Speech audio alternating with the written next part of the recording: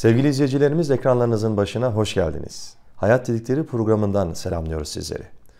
Bu haftaki yolculuğumuza Diyanet İşleri Başkanlığı Rehberlik ve Teftiş Başkanı Sayın Hasan Ali Yıldız hocamızla devam ediyoruz. Kıymetli hocam hoş geldiniz. Hoş bulduk. Sefalar getirdiniz.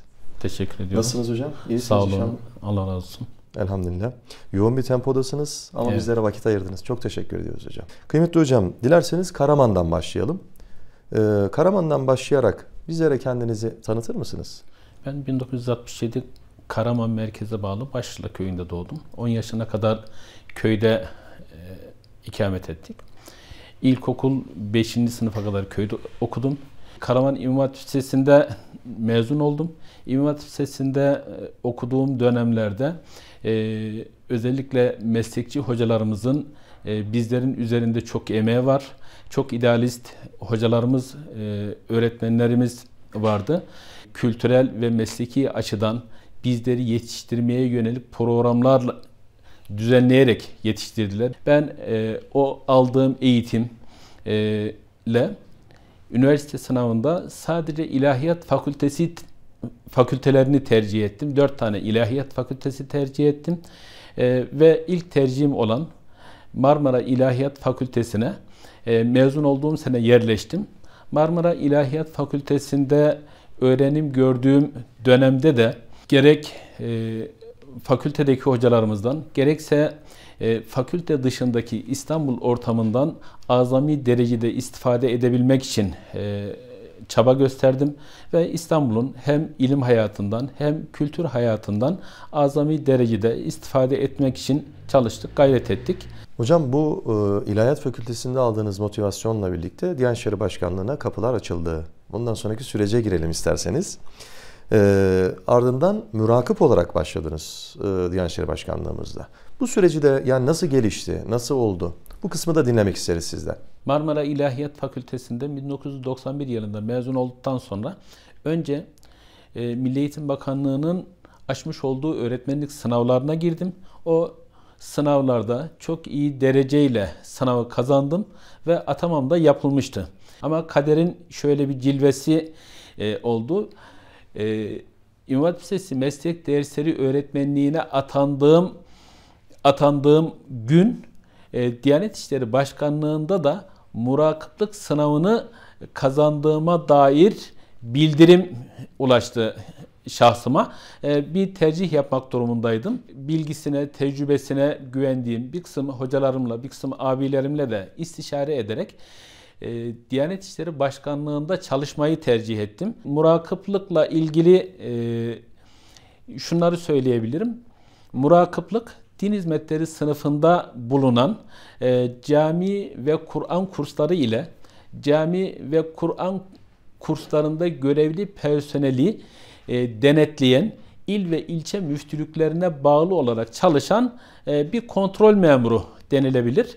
Ben e, çok kısa bir süre murakiplik yaptım. Toplamda 10 ay kadar askerlik öncesi ve sonrası yaklaşık 10 ay kadar murakiplik yaptıktan sonra Haseki İhtisas Eğitim Merkezlerinin e, sınavına girerek İstanbul Haseki İhtisas Eğitim Merkezi'nin merkezinde eğitime başladım. Haseki İhtisas Eğitim Merkezi'ndeki iki buçuk yıllık yoğun bir eğitim döneminden sonra e, doğrudan e, Elazığ Palu ilçe müftülüğüne ilçe müftüsü olarak atandım. Kıymetli hocam, e, şimdi serencamınızı anlatırken bayağı bir e, Türkiye'nin hemen hemen İstanbul evet. ardından e, Kars sonrasında tekrar Elazığ Palu ilçesi. Evet, Elazığ Palu'da göreve başladım. Elazığ Palu e, ülkemizin e, hem etnik yapı itibariyle hem dini yapı itibariyle farklı bölgelerinden bir tanesiydi. Benim mesleki olarak kendime en çok zaman ayırdığım, yine mesleki olarak bilgi ve tecrübemi e, meslektaşlarımla e, din görevlilerimizle en çok paylaşma fırsatı bulabildiğim yerlerden birisidir. İlçe müftülüğü görevim. Oradaki 3 yıllık ilçe müftülüğü görevim. Kıymetli hocam e, ardından tekrar e, merkez teşkilatımıza kapılar size açıldı ve müfettiş yardımcılığı göreviyle Ankara'ya geldiniz. Bu görevlerinizden de kısaca bahseder misiniz? Yani bu süreçte yaptığınız görevlerinizden de. E, 1999 yılında Palu'da ilçe müftüsü olarak çalıştığım dönemde e, başkanlığımızca açılan müfettiş yardımcılığı sınavına girerek başarılı oldum. 99 yılı, yılında 99 yılının Eylül ayında e, başkanlığımızda müfettiş yardımcısı olarak göreve başladım. E, işte 3 yıllık müfettiş yardımcılığı sonrasında müfettişlik, baş müfettişlik görevlerinde bulundum. Yaklaşık 18 yıl e, müfettiş yardımcılığı, müfettişlik ve baş müfettişlik görevlerim e, devam etti. E, bu süreçte ülkemizin e, doğudan batıya, kuzeyden güneye e, tamamını tanıma fırsatı buldum. Coğrafi olarak, ekonomik olarak, dini yapı e, itibariyle, kültürel yapı itibariyle e, tanıma fırsatı bulduğum e, bir görev müfettişlik. E, bana e, meslek hayatımda çok şey katan, ufkumu aydınlatan, ufkumu genişleten bir görev oldu. Çünkü müfettişlikte gittiğimiz yerlerde başkan adına, Diyanet İşleri Başkanımız adına yapmış olduğumuz denetim ve tahkikat görevlerimizde e, gerek mülki amirlerimiz, kaymakamlarımız, valilerimizle e, görüşmelerimiz, fikir alışverişlerimiz oldu. Gerekse onun dışındaki hem kurumumuzdan hem kurum dışından pek çok insanı tanıma fırsatı bulduğumuz e, çok e, bilgi dağarcığımızın genişlediği, e, her e, görevimizde farklı tecrübelere sahip olduğumuz bir görev oldu müfettişlik. Evet. Sayın Hocam 18 yıldan beri gerek müfettiş yardımcılığı gerek müfettiş olarak görev yaptınız. Müfettiş ne yapar? Bu konuda izleyicilerimizi de aydınlatabilir misiniz? Müfettiş, Diyanet İşleri Başkanı adına Diyanet İşleri Başkanlığı'nca yürütülen bütün hizmet ve faaliyetleri denetleyen, teftiş eden, e, personelle ilgili e, olarak gelen ihbar ve şikayetleri yine başkan adına inceleyen e, ve gerektiğinde de soruşturma yapan kimsedir. Evet. Kıymetli hocam ardından e, Diyanet İşleri Başkanlığımız Merkez Teşkilatı'nda rehberlik ve teftiş başkanı olarak göreve başladınız. Görev yaptığınız birimin iki ayağı var. Bir rehberlik, bir de teftiş. Rehberlikle ilgili neler söylersiniz? Yani bu alanda neler yapıyorsunuz hocam? Rehberlikle ilgili olarak e, yaptığımız şeylerin başında e, mevzuatımız gereği 3 e, yılda bir il ve ilçe müftülüklerinin denetlenmesi, başkanlık merkez birimlerinin denetlenmesi, hac ve umre organizasyonlarının denetimi, ayrıca yurt dışındaki ateşe ve müşavirliklerimizin denetimi geliyor. Genel denetimler geliyor. E, rehberlikte e, personele yardımcı olma, e, idareye yardımcı olma, e, yürütülen hizmet ve faaliyetlerin e, öngörülen programlara uygun olup olmadığını denetleme, e, personelin kendisini geliştirebilmesi için e, personele yardımcı olma faaliyetidir diyebiliriz rehberlik faaliyetini. Mesela alt başlıklar ne gibi faaliyetler? Bu yani kendilerini geliştirme adına neler yapıyor, neler öngörüyorsunuz?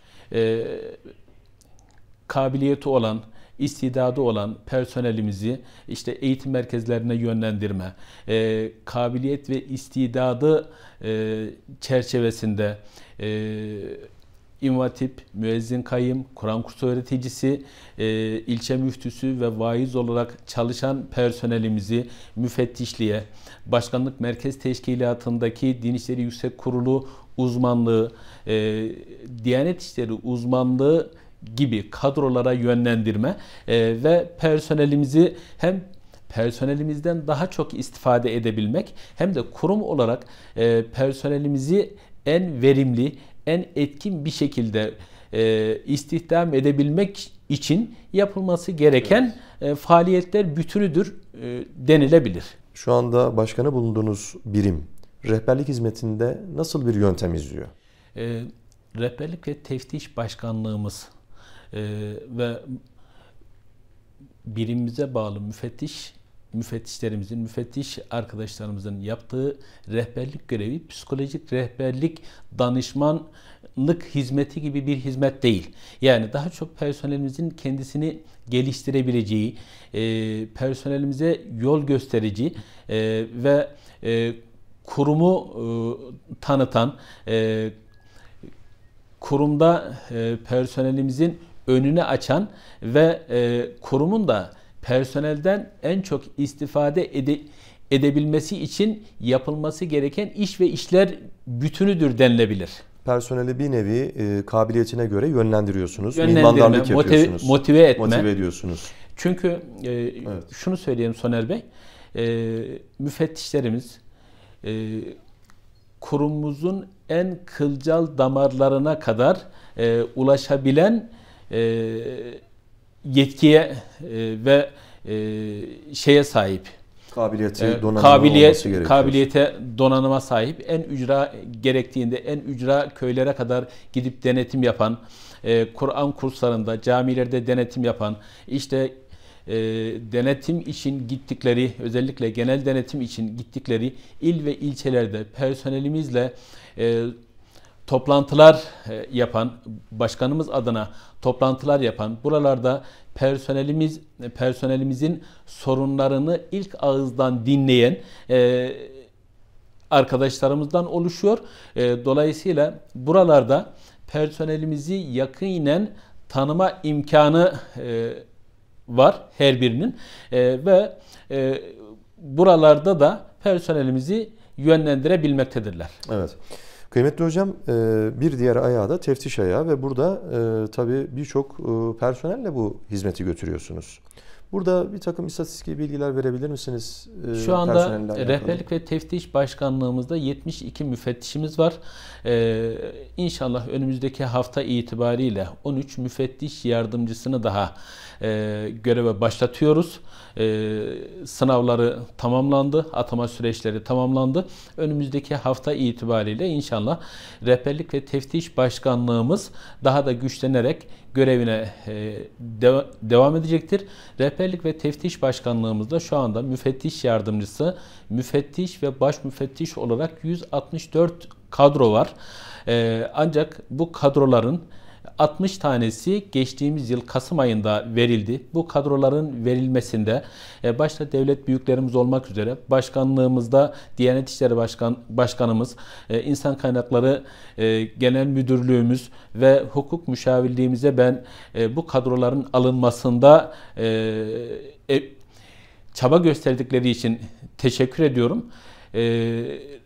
Bu kadrolarımızın tamamını doldurabilirsek rehberlik ve teftiş başkanlığı olarak e, mevzuatta bize verilen görevleri çok daha iyi yerine getirebileceğimizi düşünüyorum. Ee, Sayın Hocam öncelikle yeni başlayacak olan arkadaşlara biz hayırlı olsun diyelim şimdiden. Kritik ve netameli bir iş yapıyorsunuz gerçekten.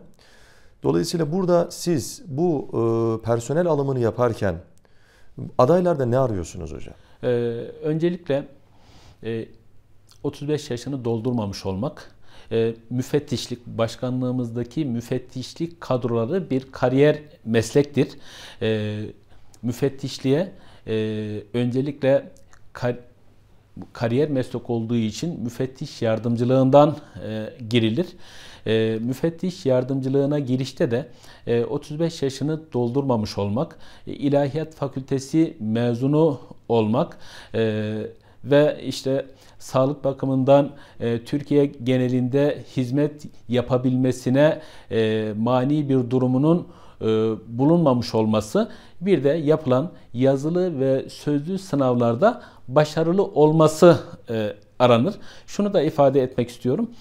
E, mevzuatımızda 2001 yılından beri e, hukuk fakültesi, e, siyasal fakül bilimler fakültesi, işletme e, ve iktisat e, mezunlarının da müfettiş yardımcısı olarak e, alınabilmesine yönelik bir düzenleme e, yapıldı 2001 yılında ancak bugüne kadar bu hiç işletilmedi. Şu anda rehberlik ve teftiş başkanlığımızda çalışan müfettişlerimizin tamamı e, ilahiyat kökenlidir. E, ilahiyat dışı alandan e, müfettişimiz bulunmamaktadır. Evet hocam. Kıymetli hocam, e, vatandaşımızdan gelen herhangi bir ihbar ve şikayet karşısında süreç nasıl işliyor? Bunu da merak ediyoruz hocam. Buyurun. E, şunu ifade edeyim. Rehberlik ve teftiş başkanlığımıza intikal eden ihbar ve şikayetlerin e, büyük bir kısmı başkanlığımıza e, gerek doğrudan başkanlık makamına, özel kalem müdürlüğüne, gerekse insan kaynakları genel müdürlüğümüze ulaşan ihbar ve e, şikayetler e, insan kaynakları genel müdürlüğümüze bağlı bulunan e, disiplin değerlendirme daire başkanlığımızca değerlendiriliyor. Bu e, ihbar ve şikayetlerden müfettiş marifetiyle incelenmeyi gerektirecek bilgi, beceri ve hassasiyet gerektirecek dosyalar müfettiş marifetiyle incelenmesi e, kaydıyla rehberlik ve teftiş başkanlığımıza ilgili başkan yardımcımızın havale onayıyla intikal ettiriliyor. E, diğer ihbar ve şikayetler ise e, ilgili valiliklere, il müftülüklerine e, mahallinde görevlendirilecek murakip ve muhakkikler e, aracılığıyla, eliyle incelenmek üzere mahalline yönlendiriliyor. Bir de e, bunların dışında rehberlik ve teftiş başkanlığımıza doğrudan intikal eden ihbar ve şikayetler var. Yine bu ihbar ve şikayetleri de biz bir süzgeçten geçiriyoruz. Eğer müfettiş marifetiyle incelenmeyi gerektiren e, dosyalar ise müfettiş görevlendiriliyor. E, eğer taşrada muhakkik ve murakıpların inceleyebileceği e, evsaftaysa mahalline yönlendirilmektedir. Yani e, dosya orada kapalı, kapatılıyor e, ya da e, Ankara'ya merkeze gelip oradan devam ediyor. Evet. Teftiş sona erdikten sonra müfettişlerimiz ne gibi raporlar sunuyor ya da rapor neticeleri nasıl ortaya çıkıyor hocam? Müfettişlerimiz kendilerine verilen görevleri, görevler e, çerçevesinde e, gerekli bilgi belgeyi e, topladıktan sonra görüşmeleri gereken kişiler kişilerin ifadelerine müracaat et, müracaat ettikten ilgili kurum ve kuruluşlardan almaları gereken bilgi ve belgeleri dosyalarına derc ettikten sonra eğer iddialar sabitse soruşturma raporu düzenliyorlar. İddialar sabit değilse inceleme raporu düzenliyorlar. Şimdi soruşturma raporlarında e, müfettişlerimizin düzenlemiş olduğu soruşturma raporlarında e, disiplin, idari, e, adli e, ve mali yönden bir takım teklifler yer alıyor. Disiplin yönünden e, yapmış olduğu teklifler arasında devlet memurluğundan çıkarma, kademe ilerlemesinin durdurulması, aylıktan kesme cezası, kınama ve uyarma cezaları yer alıyor. Ee, idari teklifler arasında Diyanet İşleri Başkanlığı'ndaki görevine son verilmesi, e, il dışı nakil, il içi nakil, ünvan değişikliği gibi teklifler yer alabiliyor. E, mali e, yönden yapılan tekliflerde ee, eğer 5018 e, sayılı e, yasaya aykırı bir durum tespit edilirse işte e, bir maaş ödeme cezası gibi ya da zimmete geçirilen e, haksız bir e, para, haksız bir mal varsa bunun istirdat edilmesi, iade edilmesi gibi teklifler yer alıyor. Adli yönden yapılan tekliflerde ise e, dosyaya konu olan iddiaların e, Türk Ceza Kanunu ve ceza içerikli diğer e, kanunlara göre suç teşkil eden bir tarafı varsa, bir adli boyutu varsa ilgili Cumhuriyet savcılıklarına e, suç duyurusunda bulunulması gibi teklifler yer alabiliyor. Evet hocam. Müfettişlerimizin düzenlediği raporlarda ayrıca özellikle e, terör örgütleriyle başta e, FETÖ, PDY olmak üzere PKK, KCK, e, İBDC ve diğer terör örgütleriyle irtibat, iltisakı ve mensubiyeti tespit edilen personelimizle ilgili olarak kamu görevinden çıkarılması yönünde teklifler yer alıyor. Ayrıca bunların dışında Diyanet İşleri Başkanlığı e, çalışanları iki yönden diğer kamu çalışanlarından farklı değerlendiriliyor. Bunlardan birisi siyaset yasağı. E, siyaset yasağı konusunda e, özellikle şunları söylemek isterim. Diyanet İşleri Başkanlığı'nda çalışan e, herhangi bir ayrım gözetilmeksizin her seviyedeki personelin e, siyasi partilerden herhangi birinin yararına ve e, zararına olacak şekilde konuşma yapmaması, tavır ve davranış sergilememesi beklenir. E, teşkilat kanunumuzun 633 sayılı Diyanet İşleri Başkanlığı kuruluş ve görevleri hakkındaki kanunumuzun 25. maddesi gereği eğer bu yönde bir tespit yapılacak olursa personelimizle ilgili olarak e, müfettişlerimizce e, Diyanet İşleri Başkanlığındaki görevine son veriliyor. Diğer devlet memurluğundan far, devlet memurlarından farklı olarak. Diğer devlet memurlarının bu yönde e, bir ifadesi, tavır ve davranışı tespit edilmesi halinde sadece kademe ilerlemesi, durdurulması cezasıyla teziyesi gündeme gelirken Diyanet İşleri Başkanlığı çalışanlarının buna ilave olarak e, Diyanet İşleri Başkanlığındaki görevlerine de son veriliyor. Evet. İkinci farklı bir konu ortak nitelik dediğimiz Diyanet İşleri Başkanlığı atama ve yer değiştirme yönetmeliğinin e, Devlet Memurları Kanunu'nun 98B maddesine göre düzenlenen e, yönetmeliğimizin bahsettiğim yönetmeliğimizin 5.1b maddesinde e, başkanlık çalışanlarımızdan atanmalarında dini öğrenim şartı arananların itikat, ibadet, tavır ve hareketlerinin İslam törelerine, İslam'ın temel prensiplerine göre olduğunun çevresinde bilinir olması gibi bir ortak nitelik şartı aranmaktadır.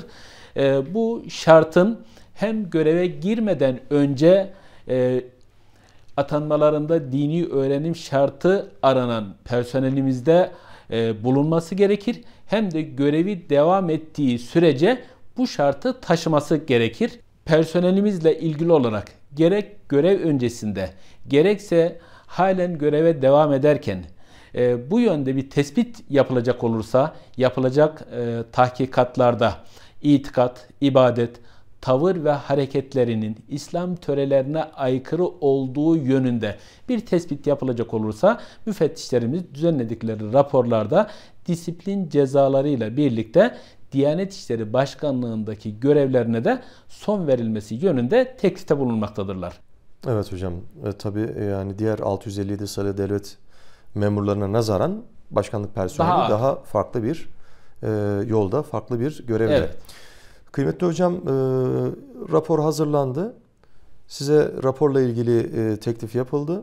Siz buradan sonraki süreci yani raporun karşısında o cezalandırma sürecini nasıl işletiyorsunuz? E, müfettişlerimizin düzenlemiş olduğu raporların tamamı rehberlik ve teftiş başkanlığımızca e, incelendikten sonra başkanlık makamının onayına sunuluyor. Yani Diyanet, İşleri Başkanımızın onayına sunuluyor. Diyanet İşleri Başkanımızın e, gereği ricasıyla onaylamasından sonra yine İnsan Kaynakları Genel Müdürlüğümüz bünyesindeki Disiplin Değerlendirme Dairesi Başkanlığımızca bu raporlardaki tekliflerin yerine getirilmesi süreci devam ediyor. İşte e, bu süreçte Atama Yer Değiştirme Kurulu, Yüksek Disiplin Kurulu gibi kurullarda e, bir kısım teklifler görüşülüyor. Örneğin e, ortak nitelik kaybından ya da siyaset yasağını ihlal e, suçundan dolayı başkanlığa son verme ile ilgili kararlar atama ve yer değiştirme kurulunca e, karara bağlanıyor. Yine bu kurulun almış olduğu kararlar da Sayın Diyanet İşleri Başkanımızın onayından sonra yürürlüğe konuluyor. E, devlet memurluğundan çıkarma ile ilgili kararlar ise Yüksek Disiplin Kurulunca karara bağlanıyor e, ve Yüksek Disiplin Kurulu'nun e, almış olduğu kararların Sayın Diyanet İşleri Başkanımızın onayından sonra e, yürürlüğe konuluyor. Son olarak söylemek istediğiniz bir şeyler varsa onunla programımızı kapatalım hocam. E, rehberlik ve teftiş başkanlığı olarak biz doğrudan e, ana hizmet birimi değiliz. Biz bir yardımcı hizmet birimiyiz, denetim ve danışma e, birimiyiz. E, başkanlığımızca yürütülen e, hizmet ve faaliyetlerde e, aksayan yönlerini e, etkin din hizmeti vermenin önündeki e, engelleri e, kaldırmak gibi bir görevimiz var. E, bunu da en güzel şekilde yapmaya gayret ediyoruz. Sayın Hocam teşekkür ediyoruz. Değerli izleyicilerimiz bu haftaki program konuğumuz Diyanet İşleri Başkanlığı Rehberlik ve Teftiş Başkanı Sayın Hasan Ali Yıldız hocamızdı. Kendisinin e, başında bulunduğu birimle ilgili çalışmalarını kendisinden dinledik. Önümüzdeki hafta bir Hayat Dedikleri programında sizlerle yeniden görüşmeyi ümit ediyoruz. Hoşçakalın.